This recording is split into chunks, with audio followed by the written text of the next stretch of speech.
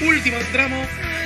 Estamos poniendo la mañana en camino y estamos recibiendo, lo hacemos con mucha alegría, el jefe meteorólogo del Instituto del INUMET, el Instituto Uruguayo de Meteorología, Néstor Santayana. Hola Néstor, buen día, bienvenido. Hola, buenos días. Bueno, con Néstor nos habíamos propuesto conversar acerca del inminente temporal de Santa Rosa, todo lo que rodea este acontecimiento que no termino de saber si forma parte de una leyenda, de un mito, o si en efecto hay bases reales que lo expliquen, que, nos permitan entenderlo. En todo caso, em, apoyémonos en los datos científicos para ver qué respuesta logramos eh, obtener. y, en tal sentido, hubo por parte de ustedes allí la, la emisión de un comunicado, la leyenda del temporal de Santa Rosa, donde se hace una historia que ya tiene cientos de años de existencia, ¿no, Néstor?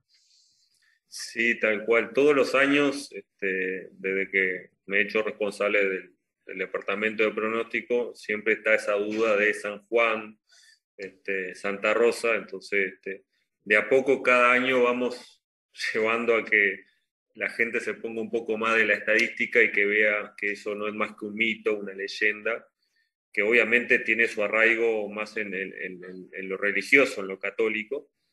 Este, eh, con respecto a, ya después hablaremos en el próximo junio del, San Juan, pero con respecto a, Santa Rosa en sí, eh, la leyenda menciona que allá por 1615, es decir, hace más de 400 años, en Lima, Perú, unos piratas holandeses querían invadir eh, Lima, y bueno, y los rezos de esta joven creyente católica este, aparentemente llevaron a que se desatara una tormenta sin precedentes y esos barcos se hundieran.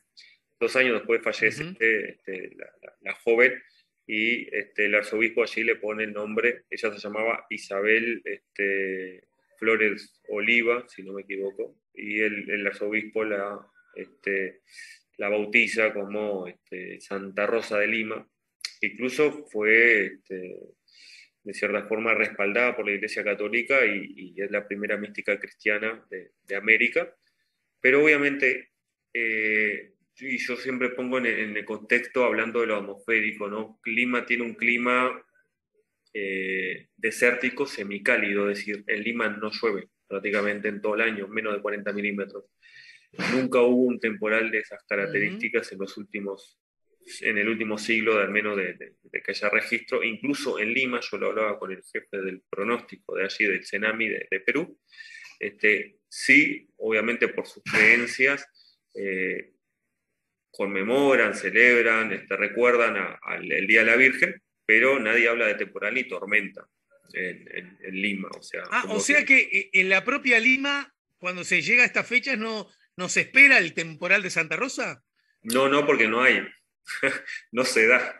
Entonces, eh, yo no me quiero mucho meter porque sé que, hay gente bastante fanática en, lo religioso, en lo católico. Este, le pido disculpas si se ofenden con esto, pero es como tratar de volver a ver que, se abran las aguas del Mar Rojo, ¿no? O sea, algo por el estilo. En Lima no se desarrollan temporales. Este, sí se han dado algunas tormentas, pero por ejemplo, en los últimos 60 años, el año pasado hubo un rayo.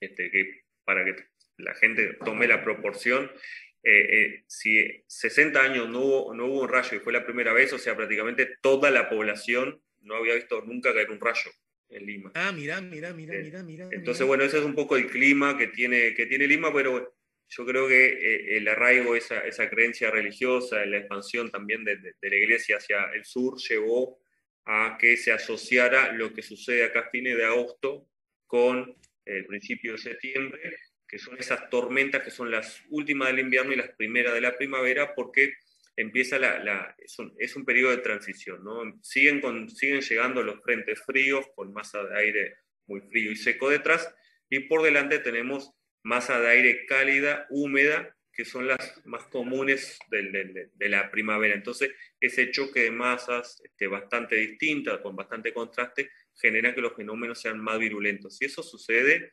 eh, hubiera o no hubiera una Santa Rosa de Lima, o sea, es parte de... Pasa lo mismo en otoño, pero en otoño se ve que no tenemos algún santo ahí a la vuelta o alguien que marque el, nombre. Te me adelantaste la pregunta, fenómenos de esas características seguramente debe haber algún otro a lo largo del año y, ¿qué pasa? ¿No reciben nombre de ningún tipo?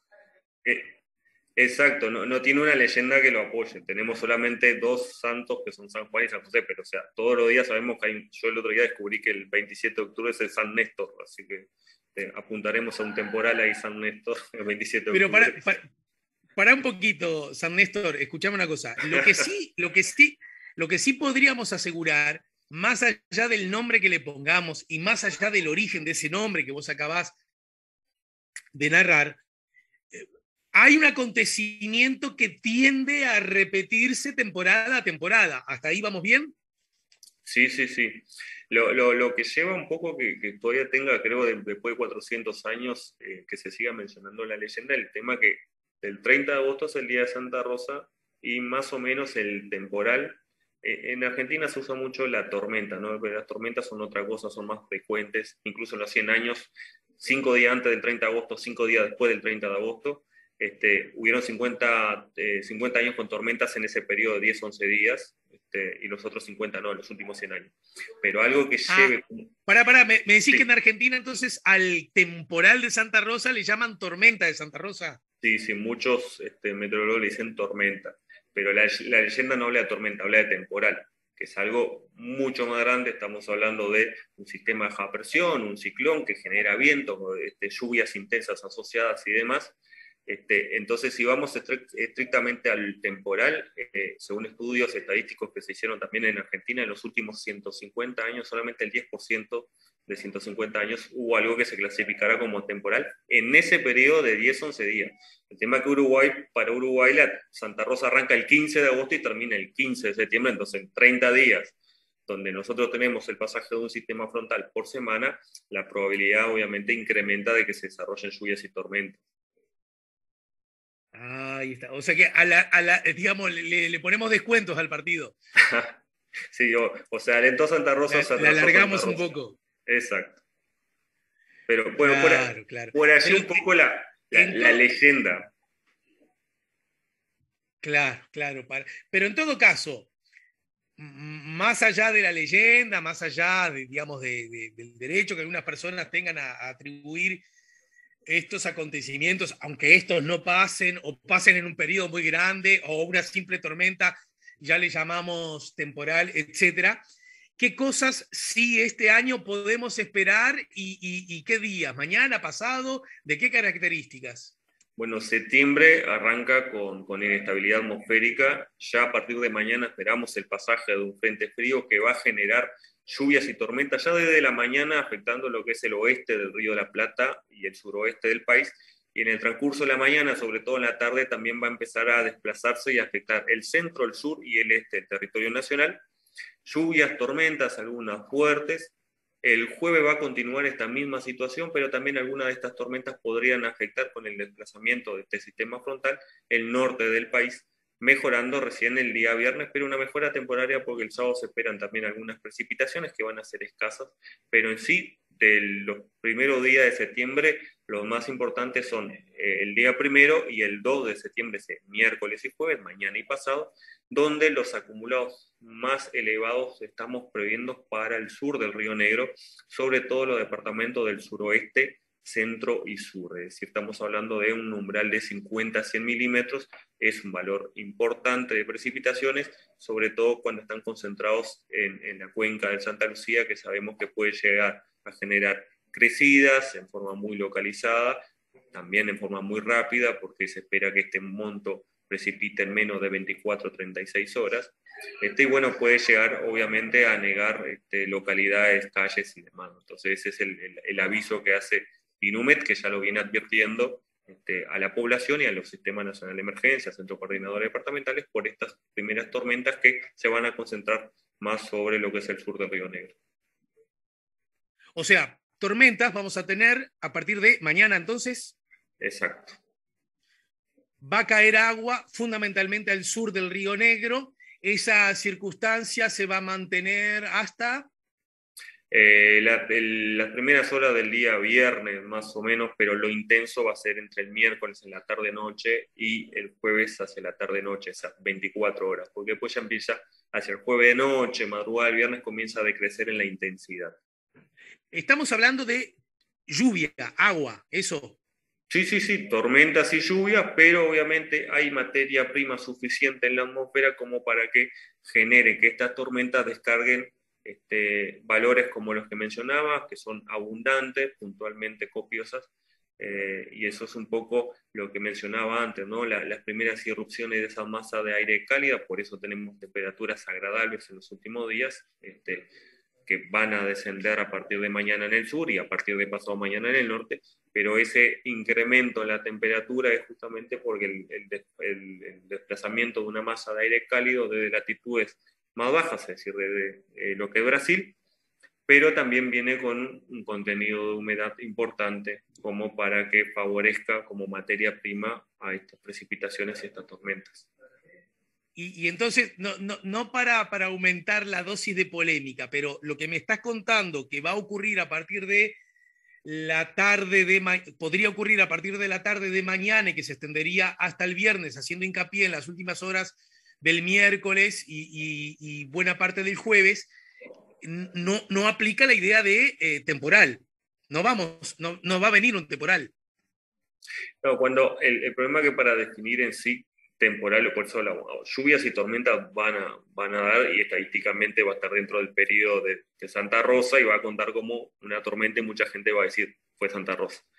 Pero temporal en sí, este, para que se entienda, lo asociamos también con un sistema de baja presión, con un ciclón, algo que no va a pasar.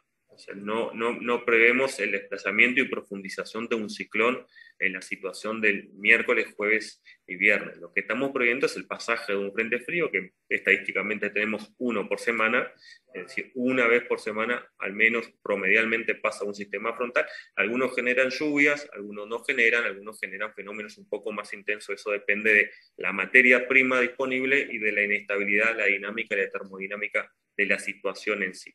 La de mañana es bastante favorable justamente para que se desarrollen estas tormentas y que además sean tormentas que generen un importante volumen de precipitación en forma muy localizada en esa zona que, hacía referencia, que es el, suroeste, centro y sur del país, en torno a los 50-100, puntualmente superiores. Bien, y ya, y ya que estás allí, entonces vamos a tener lluvias, vamos a tener agua, va a haber tormentas, va a bajar la temperatura, ¿no es cierto? Sí. Y, sería como, no, sé cómo, qué término más adecuado usar, pero seguro que me vas a entender. Sería como el último episodio más o menos contundente del invierno. De, en cuanto a lo térmico, eh, no. sí, esta idea de asociar el invierno, el invierno al frescor y, y, a la lluvia, al gris. Yo asomo ahora el hocico eh, ¿verdad? Veo que la temperatura está más bien alta, que está luminosa, eh, que está luminoso el mediodía, que estoy de, manga corta y, no pienso que es un día típico del invierno. Sí, no, es eso, a partir de mañana en el sur va a decrecer la temperatura y se va a mantener durante la semana. Y, y, siempre se dan, más allá de que estamos migrando en esa transición hacia la primavera, siempre se dan que continúan llegando algunos sistemas frontales menos frecuentes este, y menos intensos en cuanto al aire frío que lo que puede pasar en junio, julio y parte de agosto. Además, eh, no hemos tenido en los últimos años una ola de frío en septiembre. Siempre se han concentrado en junio, julio y en, alguna, en algún momento en parte de agosto. Eh, Entonces, perdón que insista, ¿sería como la, la despedida del invierno lo que va a ocurrir eh, mañana, pasado y traspasado? No, yo creo que seguramente se den algunos otros sistemas frontales que bajen un poco la temperatura, pero no en comparación a lo que sucedió entre mayo y julio, que fueron los meses más fríos, porque incluso agosto, este, de cierta forma, tuvimos algunos piquitos arriba, otros abajo, pero las olas de frío se dieron en junio, julio y, el invierno arrancó un poquito antes, allá por abril, mayo ya teníamos anomalías negativas de temperatura, lo empezamos a sentir un poquito antes el invierno eh, y bueno, y tal vez eso también nos dé una, idea de que el invierno se vaya un poquito antes de, lo esperado, Pero para la meteorología en sí, la climatología, la primavera arranca a partir de mañana, porque nosotros no, consideramos eh, eh, las estaciones astronómicas, sino a partir del primero del mes de, donde cambia la estación astronómica. Es decir, para la meteorología la primavera arranca el primero de septiembre hasta el primero de diciembre. Entendido. ¿Y podríamos anticipar algo acerca de qué tipo de primavera vamos a tener? Bueno, hoy justo se está reuniendo el grupo de expertos del INUMET y de la Facultad de Ciencias que trabajan en ese, en ese producto trimestral de tendencias climáticas. Y, obviamente para la semana que viene vamos a tener los resultados, pero la que tenemos ahora que agarra el último mes del de, eh, invierno y los primeros dos meses de primavera habla de, siempre hablando de precipitaciones y, temperatura dentro de lo normal, pero eh, menos lluvioso en el norte debajo de la media, y más fresco en el sur, sur y sureste. Esa es la tendencia que tenemos ahora, que se está actualizando, en el correo de esta semana se estará actualizando, y bueno, y además destacar que estamos yendo nuevamente, que no es algo frecuente, a la niña. Nosotros salimos el año pasado de fase neutra a la niña, volvimos a fase neutra y por lo general siempre hace una transición opuesto al niño y ahora estamos volviendo a la niña ya este, nombrada como tal por, este, el Servicio Meteorológico de Estados Unidos, lo que implica eso que podría llegar a generar anomalías negativas de precipitación, es decir, llover menos en la región, que eso sí es un panorama bastante complicado, porque ya el año pasado eh, la región en sí sufría una sequía importante, un déficit hídrico importante. Uruguay se recuperó un poco entre fines de enero hasta marzo, abril, donde se cancelaron las emergencias este, agropecuarias que, estaba emitido por el Ministerio de Ganadería, Agricultura y Pesca, y ahora nuevamente con ese panorama podría llegar a complicarse la primavera un poco más. Independiente de las lluvias que se den mañana, no estamos hablando en términos generales y de meses. Sí, sí. Así que podríamos decir a grosso modo que la primavera va a estar un poquito más lluviosa hacia el norte que con relación al norte del país. ¿Eso entendí?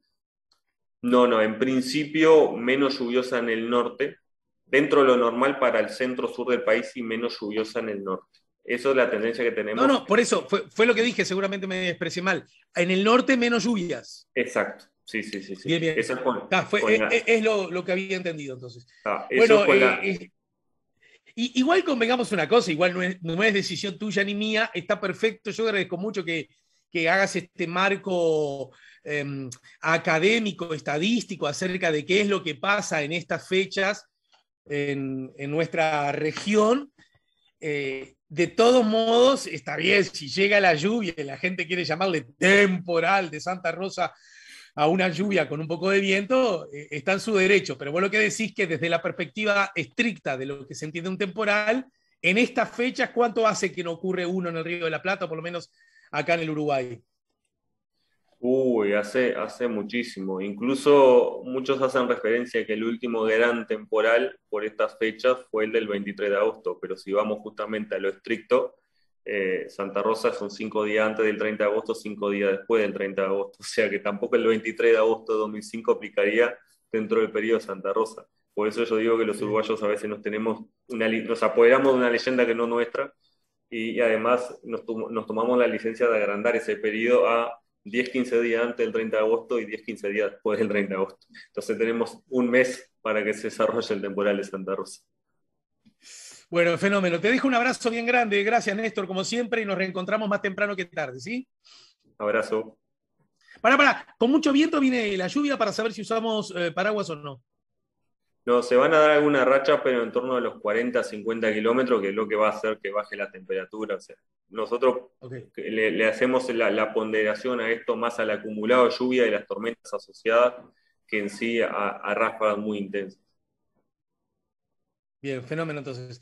Otra vez, gracias Néstor y nos reencontramos, repito, más temprano que tarde para que nos ayudes a poner la mañana en camino, ¿sí? Chau. Chau.